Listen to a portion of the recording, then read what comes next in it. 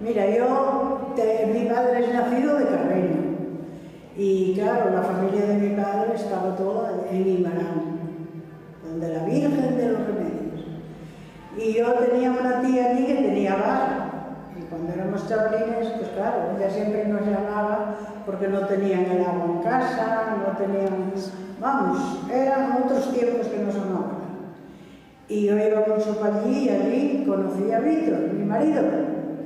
Y bueno, ya te digo que no pegaba muy bien porque yo además era muy revoltosa. A mí me gustaba mucho salir y era donde te digo que iba al baile de zapatillas y madreñas y paraguas. Porque íbamos a bailar al pueblo de Víctor, que yo vivíamos en Ibarán cuando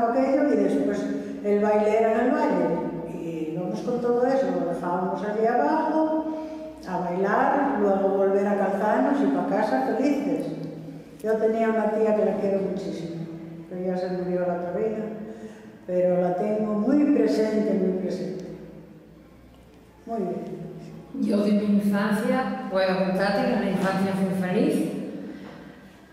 La única diversión que teníamos era ir a las esfollares, que tú sabes que en casa de los ganadores cuando se terminaba la cosecha del maíz empezaban la gente a llamar para que ayudaran a esfoliar. Eso en que los hombres hacían las riestes, les chavaluques eran los que íbamos ocurriendo los panoyes, después había juegos por debajo de la hoja y nos prometían siempre donde íbamos que al final, cuando fuera la última, que nos traían a los ciegos de Miranda, que era un hombre y una mujer que tocaban no sé qué clase de aquello, pero bailábamos y disfrutábamos allí que nos matábamos.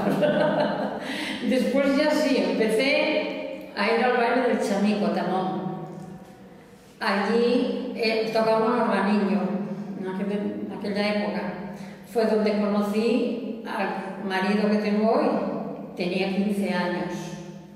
Fui un poco temprana siempre decía yo, no llegues a casa porque si te ve mi madre nos mata. Él quedaba medio siempre.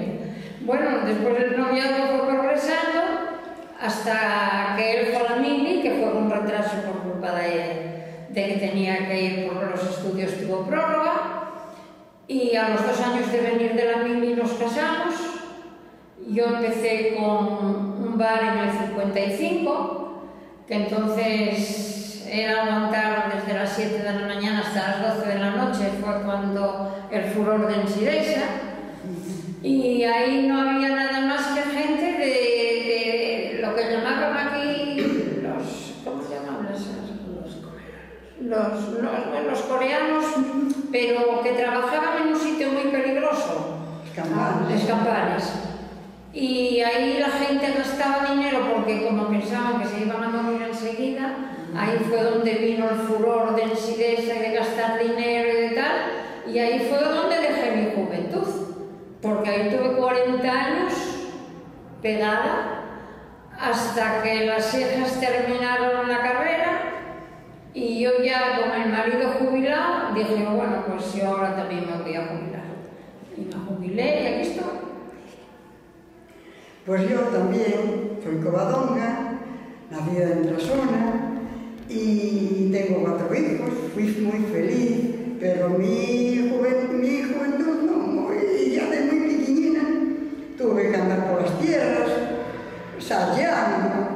segando, pasando frío, e, e al baile, al baile nada, porque cuando venía a orquesta ya tenía que ir para casa.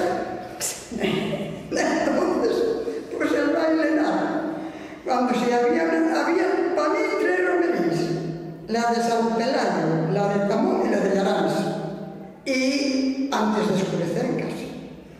Y pues conocí a mi marido, estaba haciendo la misa por la Guardia Civil, y con mi casa, la Guardia Civil, dormí casi todos de semanas, porque andaba de montaña, ya había un tiempo por allá. Y allí lo conocí. Y así fuimos saliendo y hasta que no me casé, no salí de casa y no regresaron de noche. Nunca. Hasta que me casé. Entonces, sí, entonces, entonces regresaba de noche. Porque entonces ya me reí, pero más, sí, hombre, fui feliz, pero trabajé mucho porque éramos dos hermanas, yo soy la mayor, y como mayor, pues era yo la que llevaba, pues tuve el traslado de casa, eh, en todo. Y ya muy pequeñines, que los vecinos decían a mi madre, pero esos rapacines van a quedar enanes, hombre. Y decía mi madre, ah, y mal trabajaron,